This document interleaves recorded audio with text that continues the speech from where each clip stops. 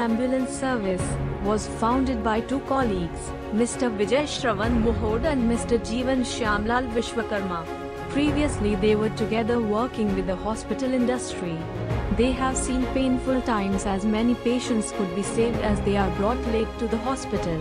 This motivated them to help people who need urgent medical aid and move them to the hospitals in cases such as road accidents, health emergencies, and other disaster situations.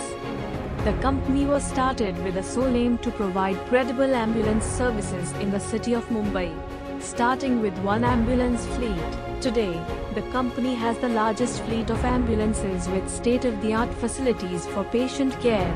They started their ambulance service on rented vehicles and the journey of saving people started. They saved countless lives and helped people who needed ambulance services. They have been putting in great efforts to provide empathetic, quality and on-time service to their patients initially they provide basic ambulance service but over the period of time, they notice that patients need additional facilities in the ambulance. So, they started providing advanced life support ambulance with doctor, a wide range of ambulances services for various purposes and currently operate more than 90 ambulances. Established in the year 2007, Based in Mumbai, Maharashtra, it is one of the fastest growing companies in India.